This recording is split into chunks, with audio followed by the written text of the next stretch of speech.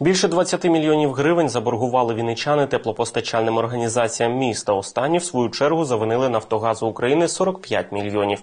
Незважаючи на досить значну суму боргу, Вінниця входить в сімку обласних центрів, де розрахунки за блакитне паливо найкращі.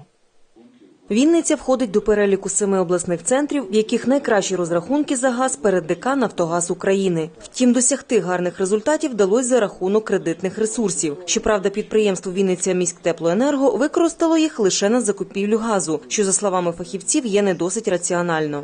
використання кредитних ресурсів на оплату за газ це не є ефективне використання коштів.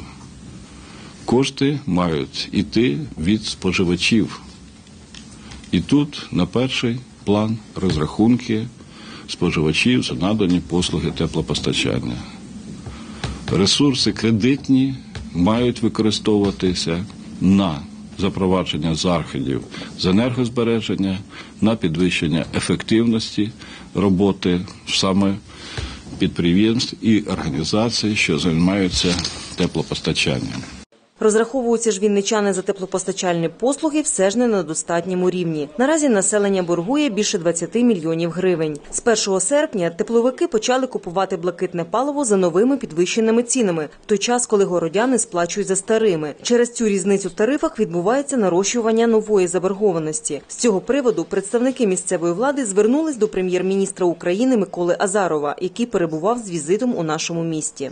Поки що рішення щодо е, відповідно змін до державного бюджету і виділення субвенцій місцевим бюджетам на різницю в тарифах поки що не прийнято. Урядом вишукується саме джерело фінансування саме цього заходу.